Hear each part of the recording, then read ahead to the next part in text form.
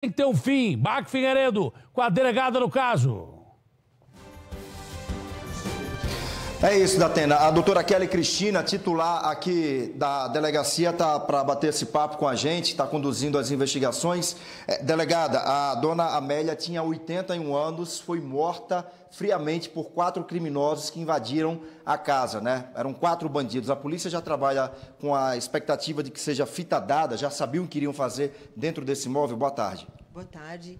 É, realmente, a polícia trabalha com essa linha de que a informação tenha sido passada para esses indivíduos, para que eles entrassem nessa residência, aonde a possibilidade de resistência seria muito menor, em se tratando de dois idosos e duas mulheres.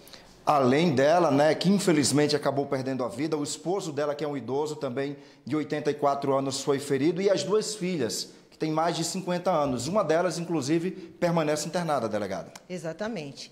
Todos foram agredidos brutalmente. As lesões foram basicamente na região da cabeça. Uh, esse senhor acabou tendo alta médica junto com uma das filhas, mas estão sob observação. E a outra filha, por ter sido agredida na região dos olhos, vai ficar permanecer internada para passar por cirurgia. Delegada, obrigado pela participação aqui no Brasil. Gente, os suspeitos do crime da Atena ainda seguem foragidos. A polícia tá, agora está analisando imagens de câmeras de segurança que mostram o momento da chegada da quadrilha.